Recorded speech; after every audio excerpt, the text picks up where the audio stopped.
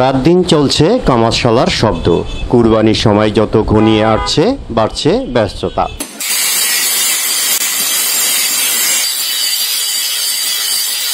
পশু কুরবানির চাকু ছুরি চাপাতি সহ প্রয়োজনীয় সরঞ্জাম কিনতে মানুষ ভিড় করছে কামারশালায়। আবার কেউ বা পুরনো সরঞ্জাম মেরামত অথবা শান দিয়ে নিচ্ছে। অস্ত্র প্রতি বছরে নতুন করে ধার করে নিয়ে যাই আবার আবার প্রতি আবার অস্ত্র ধার করে।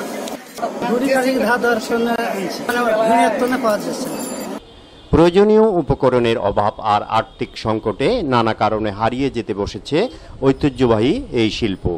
পাশাপাশি কয়লা ও কাঁচামালের দাম বেড়ে যাওয়ায় লাভের পরিমাণ কমেছে বলে জানান অনেকে। রাত তিনটে পর্যন্ত আজকে রাত ভোর হয়ে যাবে কাজ ডেলিভারি দিবে আজকে কালকে।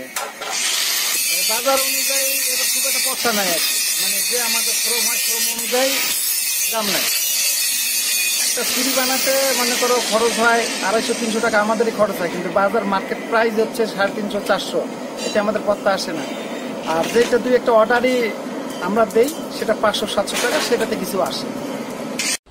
এদিকে দামের আগের তুলনায় বেশি হলেও বাধ্য হয়ে পশু কুরবানির সরঞ্জাম কিনছেন ক্রেতারা। এই শিল্পকে টিকিয়ে রাখতে প্রয়োজনীয় উদ্যোগ নেবে সরকার, এমনটাই প্রত্যাশা কামারদের।